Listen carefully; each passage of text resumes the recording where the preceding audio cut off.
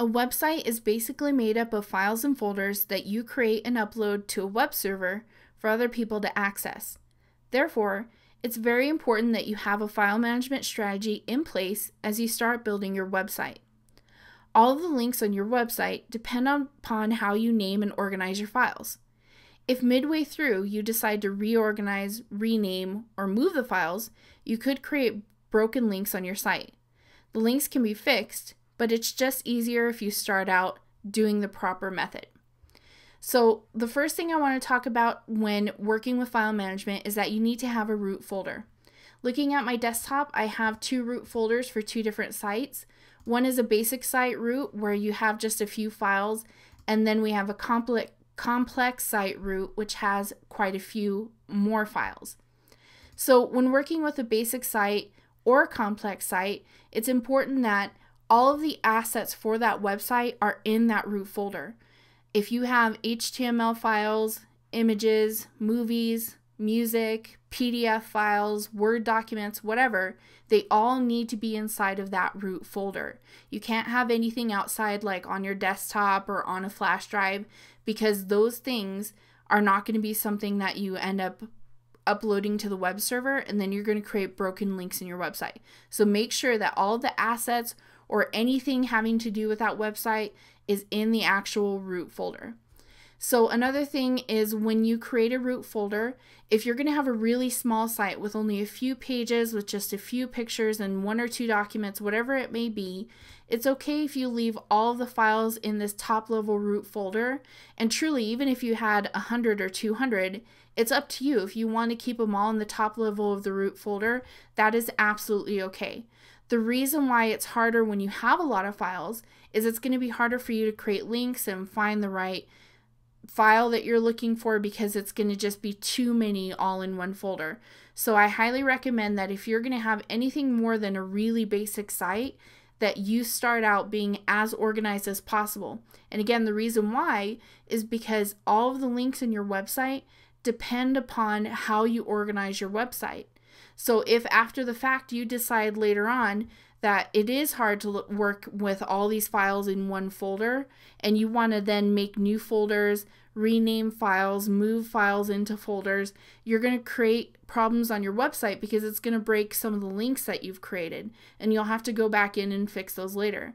And they can be fixed, but it's just kind of a headache. So, when you're building a website, my recommendation is to be as highly organized as possible from day one that you start working on this website. So, for instance, in this website, I have two kind of standalone pages that aren't a part of a group or a section.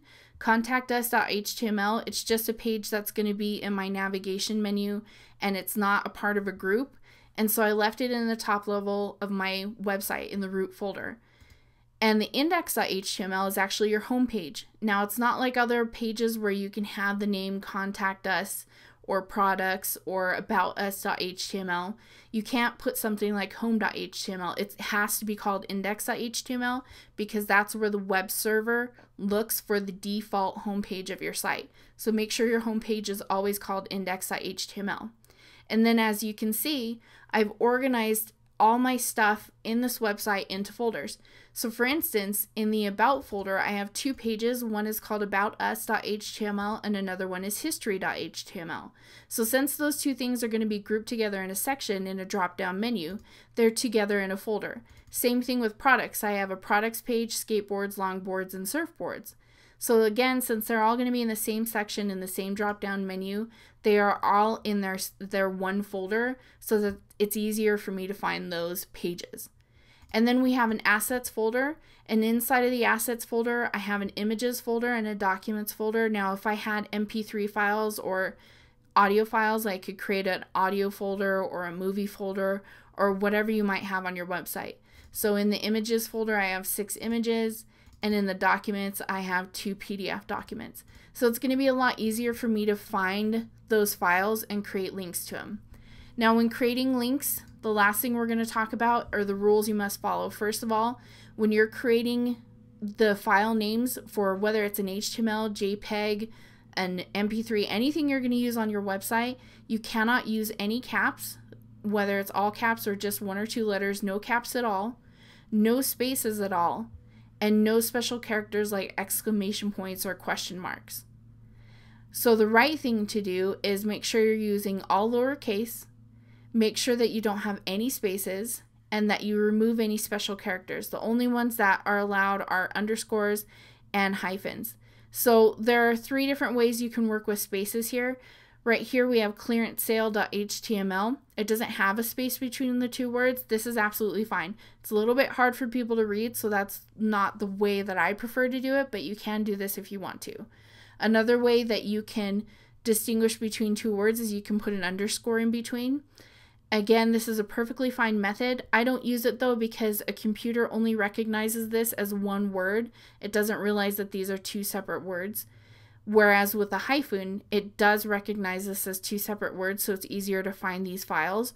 So this is the preferred method that I use when naming folders, naming files, naming anything for a website is to use no capitals, no spaces, and substitute a space with a hyphen and no special characters.